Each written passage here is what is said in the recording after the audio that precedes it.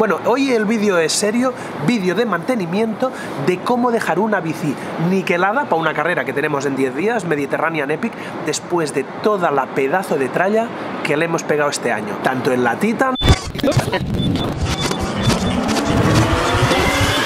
como en Colombia, como por todo el mundo.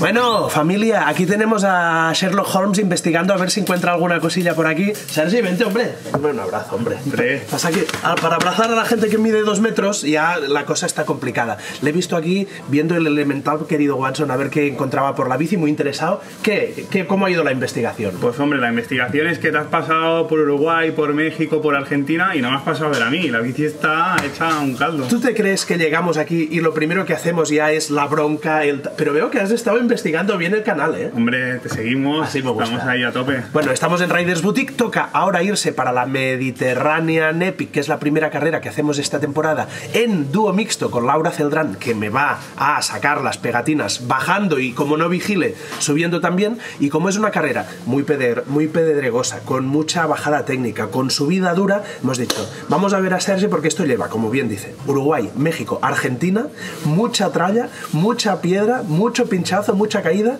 ¿Qué le vamos a hacer a la bici? Pues os explico. La bici... Venga, vamos allá, a ver. Lo primero de todo le vamos a tener que pegar una buena limpieza. Vale. Que está guarrilla la bici. Bueno, porque también hemos entrenado, es importante que esté guarrilla, ¿no? También. No, no, yo cuando veo una bici así de sucia me da alegría. Le cambiaremos la cadena y plato porque tiene desgaste, porque aquí hay kilómetros. Haremos pastillas delante y traseras. Cambiaremos el disco trasero también porque ya empiezan a tener rebaba. El pedalier está bastante picado también lo cambiaremos. Haremos un engrase de la dirección, cambiaremos cubiertas, repondremos líquido túbeles y bueno, le daremos un repaso general. Cambiaremos cable, funda, reapretamos tornillería. Le haremos una revisión a mega full. O sea, es lo que se conoce como un completo, ¿no? Ahí está, un completo. Lo del final feliz ya lo veremos en la carrera, Ya si, si pero la carrera acaba, acaba con final feliz o no, que esperemos que sí, no pinchemos ni nada, pero de momento hoy le hacemos el completo. Lo tienes. Venga, vamos para allá.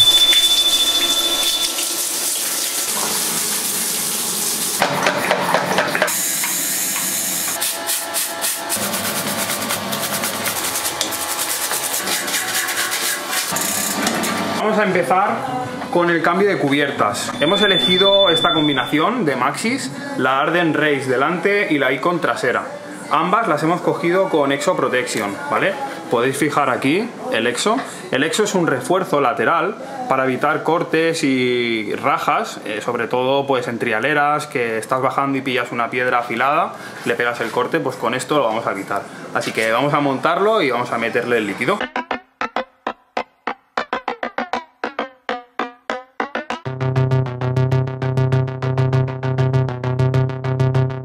Antes de poner el fondo de llanta, lo que vamos a hacer es limpiar muy bien el aro para que el nuevo fondo nos quede bien enganchado y que no se nos levante. Hemos limpiado muy bien el interior del aro, pegaremos el fondo de llanta. Esta era la válvula que llevaba él puesta y esta es la que vamos a montar. Vamos a montar una un poquito más larga porque como la rueda tiene un poco de perfil, le quedaba muy corta para inflar, tenía problemas. Entonces con esta más larga vamos a, solucionar este problema. Le hacemos el agujero, que es por donde va a pasar la válvula.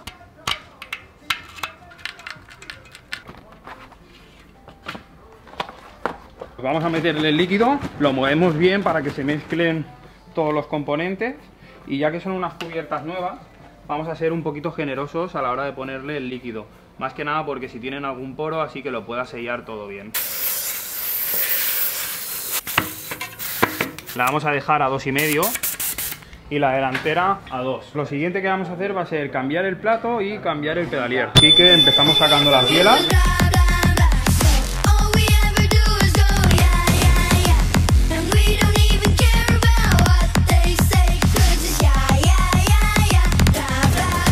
Perfecto, pues aquí tenemos el pedalier cambiado.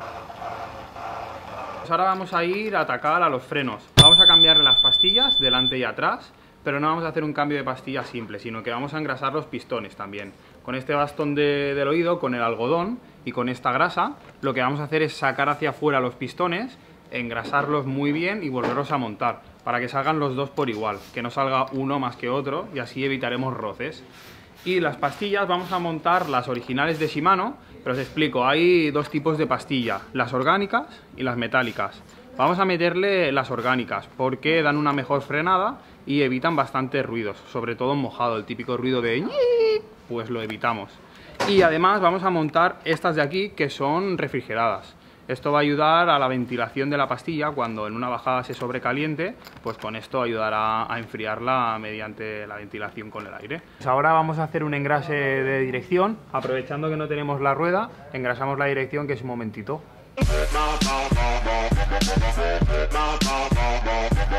Fijaos cómo está esto de grasa, de tierra, todo ahí acumulado. Así que le hacemos limpieza y engrase rápido.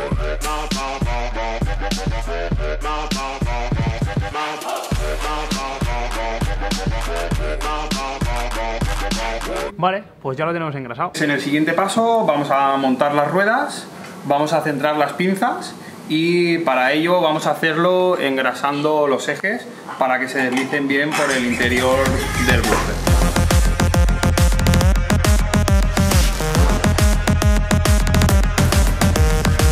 Pues ahora ya solo nos queda montar la cadena, ajustar los cambios y por último cambiaremos los puños.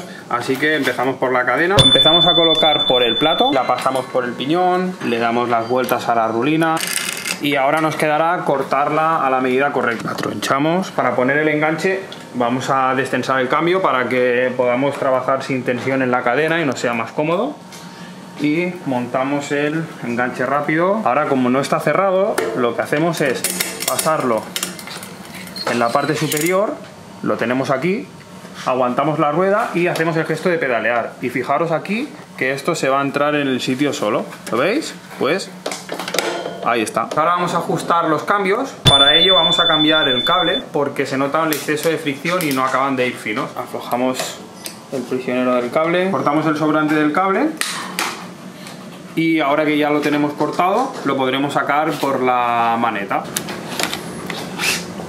Soltamos el mando para poder cambiar el cable. Abrimos por aquí, ponemos el cable nuevo si quiere entrar. Ahí está. Comprobamos que haga los clics. Ponemos la tapa y lo volvemos a anclar en el manillar. Probamos. Ahora nos va a salir el cable por ahí atrás. Ahí lo tenemos hacer la vuelta por el cambio Vale, una vez tenemos cambiado el cable, ahora vamos a ajustar la tensión. Le damos tensión hasta que nos sube.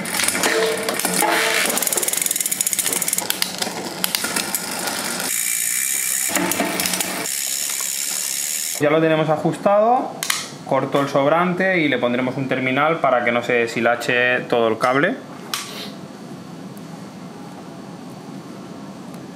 Ahí está. Y para terminar le cambiaremos los puños que los tiene bastante comidos. Yo no sé si se agarra con las manos o con los dientes, pero le cambiaremos y les pondremos unos Easy Grip.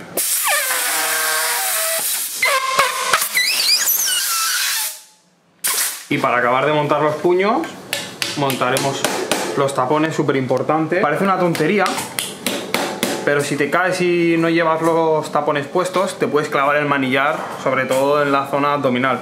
Con el tapón te vas a hacer polvo igual, pero por lo menos no te lo clavas. Perfecto, pues ya lo tenemos listo. Vamos a probarla un poquito, que todo esté ok, que no falle nada y listo para la guerra.